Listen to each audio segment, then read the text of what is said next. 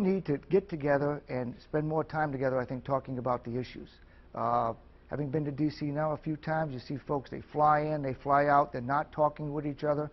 And, you know, I'm, I'm a Marine, I'm a career Marine, I spent 35 years in the Marine Corps. One thing you learn in the Corps, and as many veterans know, is how to work as a team.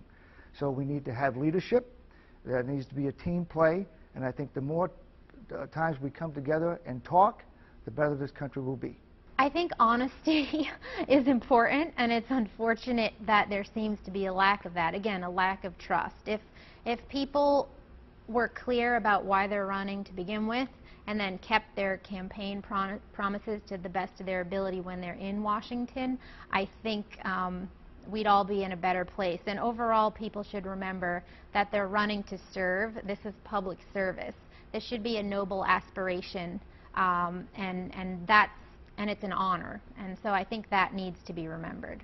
Political gridlock in Congress with representatives, representatives like Ann Kuster, who support the Barack Obama's failed policies almost 100% of the time, need to stop. We need representation in Congress that votes for the people of the state, for the people of this nation. I want to be the congressman who goes to Washington and votes for the people of New Hampshire to win back New Hampshire from the federal government. Read more about where the candidates stand at WMUR.com.